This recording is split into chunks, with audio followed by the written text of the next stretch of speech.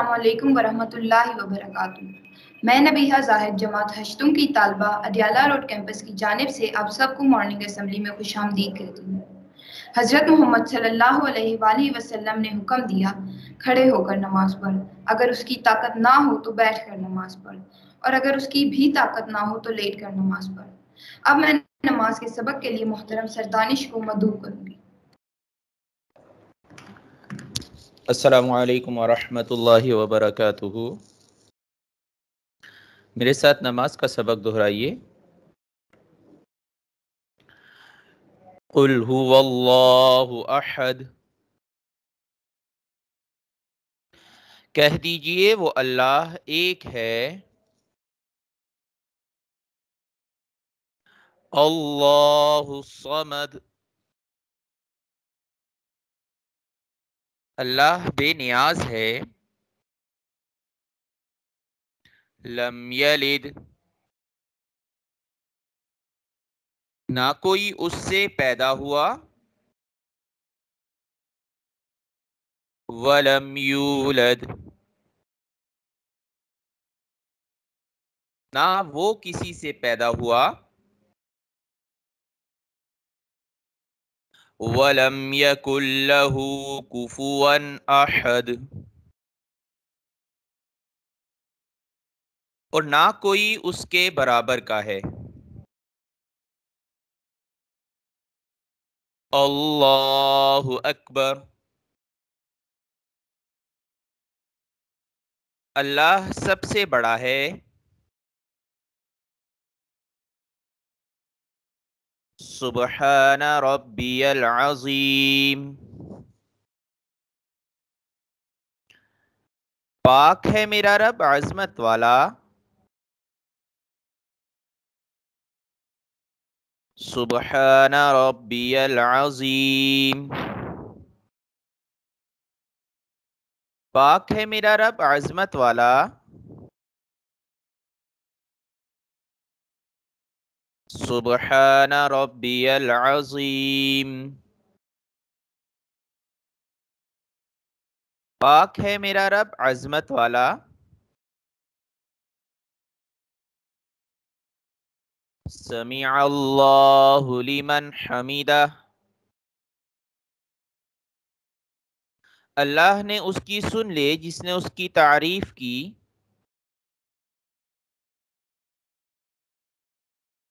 रब्बना लकल हम्द ए, हमारे रब तमाम तारीफ़ तेरे लिए है।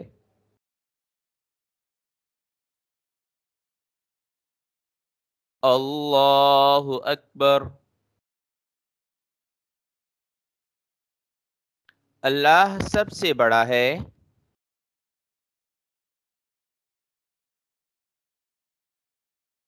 सुबहान रब्बियल आला पाक है मेरा रब ऊँची शान वाला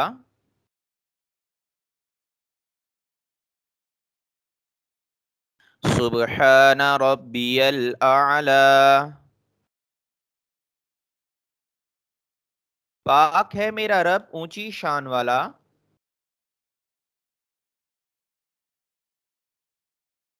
सुबहान रब्बियल आला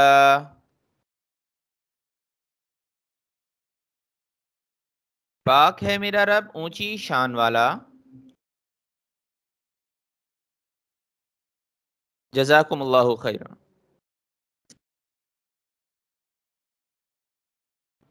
जजाकल्ला सर। नबी पाक सल्लल्लाहु अलैहि वसल्लम ने फरमाया कुरान पढ़ने वाले मोमिन की मिसाल संगतरा की सी है कि उसका मज़ा भी उमदा और खुशबू भी उमदा। अब मैं कुरान पाक के तर्जुमे और तफसीर के लिए मोहतरम सर हाफिज इद्रीस को मदू करूँगी। अस्सलामु अलैकुम वरहमतुल्लाहि वबरकातुहू। अऊज़ु बिल्लाहि मिनश शैतानिर रजीम।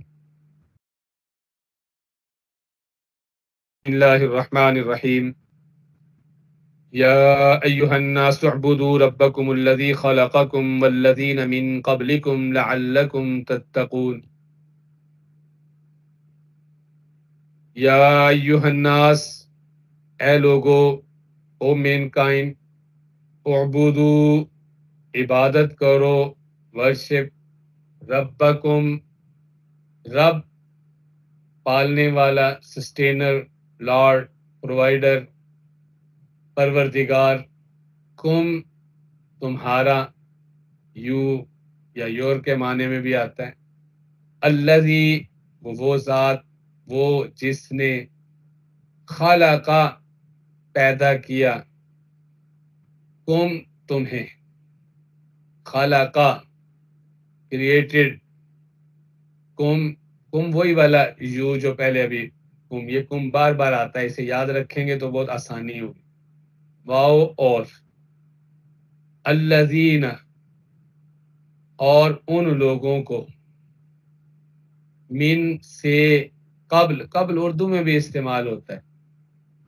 पहले, कुम, ये वही वाला कुम है, तुम, अगर इसको याद करने के लिए आसान चीज़ की ज़रूरत हो तो अस्सलाम वालेकुम इसे याद रखें, उसमें जो कुम आता है, ये वही है।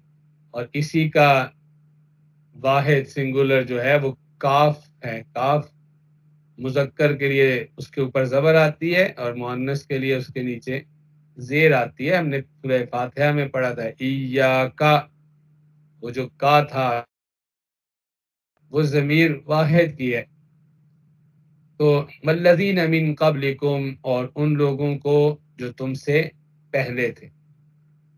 ए लोगो, या अयुहन्नासुबुदू रब्बकुम ए लोगो, इबादत करो अपने रब की, अल्लजी खलककुम, जिसने पैदा किया तुम्हें। वल्लजीन मिन कबलिकुम, और उन लोगों को जो तुमसे पहले थे। लअल्लकुम, ताकि तुम तत्तकून, मुत्तकी बन जाओ, परहेजगार बन जाओ। ये सूर्य बकरा की आयत नंबर 21 है। और इससे पहले की 20 आयात में इब्तदा में आयत नंबर वहाँ कुरान का मुख्तसर सा तारुफ कराया गया था। या यूँ कहें कि ये बताया गया था कि वो सूरह फातिहा में जो तुमने दुआ की थी कि इह दिन सिरात मुस्तकीम, अल्लाह से सिरात मुस्तकीम तुमने मांगी थी।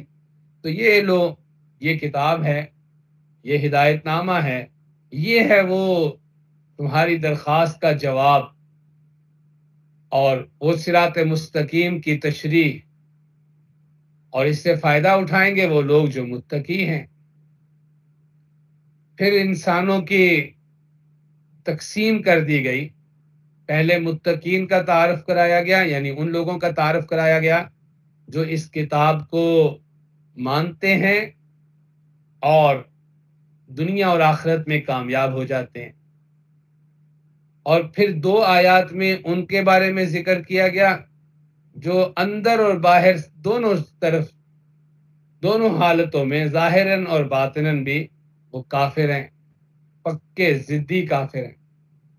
और फिर तेरह आयात में उन लोगों का ज़िक्र आया, जो अंदर से तो इस्लाम को कबूल नहीं करते थे, अल्लाह पर ईमान सही तरीके से नहीं लाते थे, रसूलुल्लाह सल्लल्लाहु अलैहि वसल्लम को नहीं मानते थे, किताब को नहीं मानते थे। लेकिन जाहिरन इस्लाम का इजहार करते थे, जिन्हें मुनाफिक कहा जाता है। तो पहली बीस आयात में कुरान पाक के तारफ के साथ उसको मानने और ना मानने के एतबार से इंसानों के तीन तबकात का ज़िक्र किया गया। एक जो उसे मानता है, दूसरे दो जो नहीं मानते और उन दो में से एक वो जो अंदर और बाहर से बिल्कुल नहीं मानता, यानी अंदर से भी काफिर है, जाहिरन भी काफिर है। और एक वो जो अंदर से तो काफिर है, लेकिन जाहिरन इस्लाम का इजहार करता अब ये इक्कीसवीं आयत, यहाँ से कुरान पाक की आप यूँ कहें कि वो असल दावत शुरू हो रही है, जिसके लिए कुरान आया है। अगर अकायद पे आप गौर करेंगे तो सारे अकायद में अहम तरीन जो अकायद हैं, वो तोहीद, रिसालत और आखरत, यानी क्यामत है। और इनमें भी अगर आप गौर करेंगे तो रिसालत और आखरत तो दोनों का जोड़ तोहीद से है।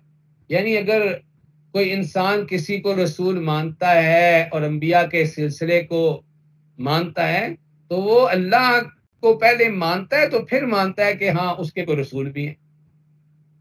इसी तरह अगर आखरत को मानता है कि मैंने मर के दोबारा भी ज़िंदा होना है और किसी के सामने जवाब दे होना है तो पहले वो अल्लाह को मानता है तो फिर ये मानता है कि हाँ मुझे उसके सामने जाके हाजिर भी होना है।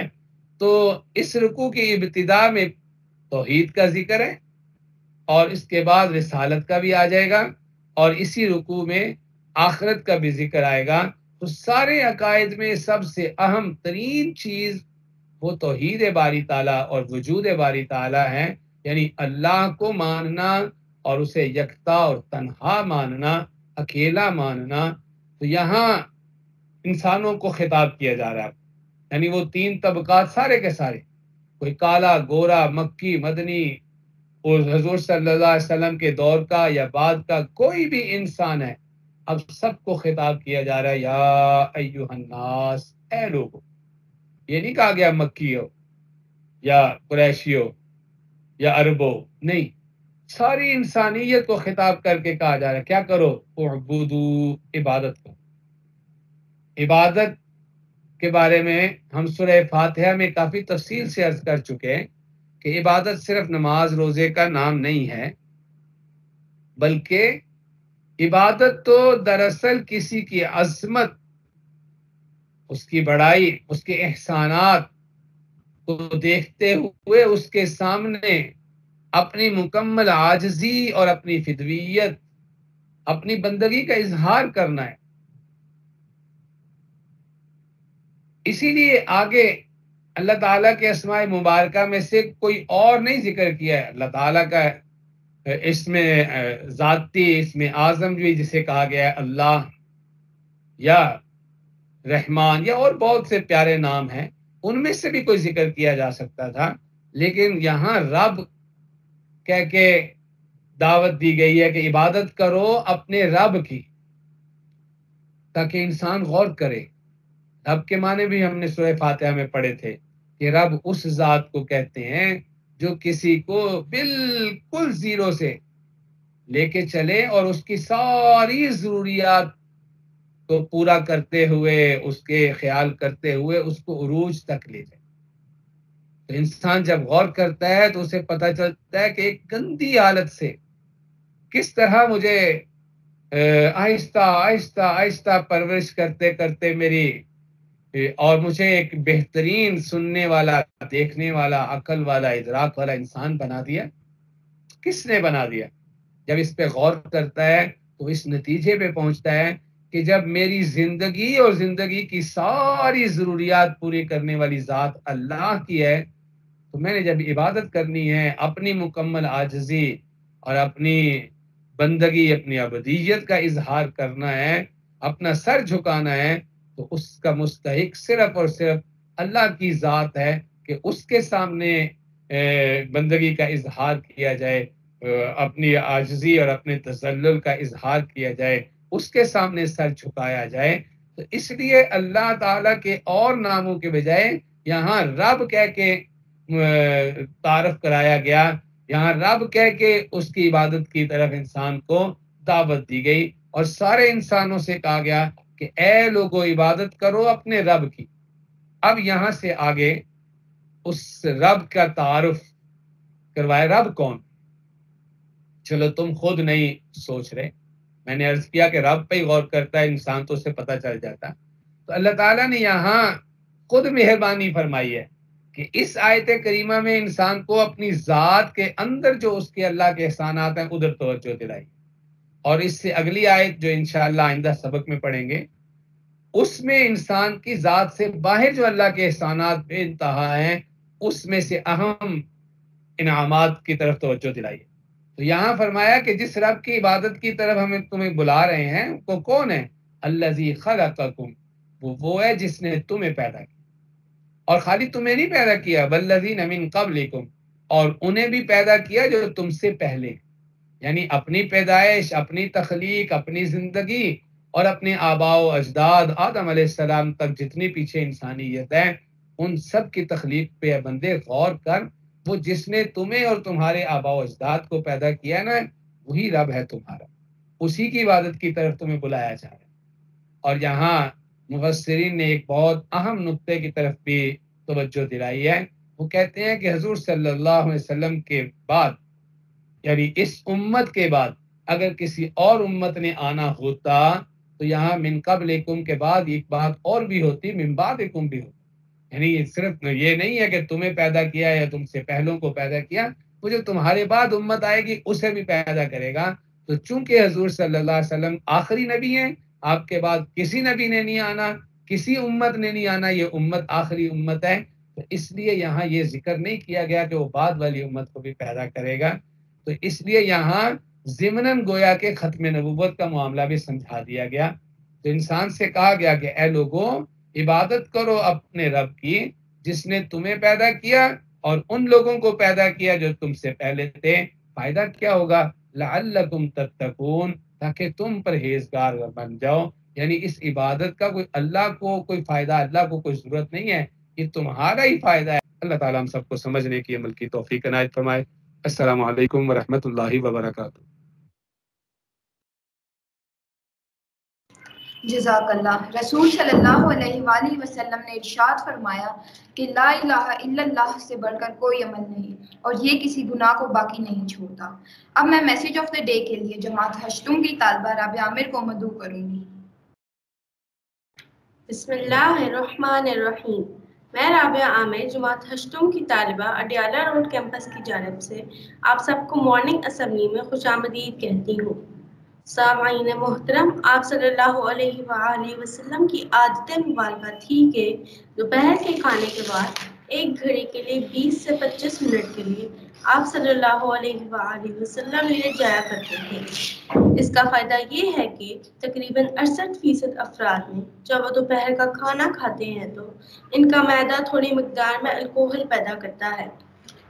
ऐसे में अगर इंसान चल फिर रहा हो तो वो चकरा कर गिर सकता है या उस पर खुमार किसी कैफियत तारी हो सकती है। यही सबब है कि आप हमेशा दोपहर के खाने के बाद अपने आप को थोड़ा बोझल सा महसूस करते हैं। अगर हम कुछ देर लेट जाएँ तो अल्कोहल से पैदा होने वाले खुमार का जहन पर ज़्यादा दबाव नहीं आएगा और वो बॉडी फ़ंक्शंस के लिए ज़्यादा फ़ाल रहेगा और हम किसी भी तरह के हादसे से बच सकेंगे। इसके अलावा भी इस सुन्नत मुबारक पर अमल ना करने की सूरत में बहुत से सेहत के मसाइल का खदशा रहता है। चूँकि ये बात आज तहकीकात से साबित शुदा है, इसलिए दुनिया भर के ममालिक में बेशतर एक से दो या तीन बजे तक दोपहर का वक्फा किया जाता है, ताकि लोग खाने के बाद कुछ कलोला कर सकें।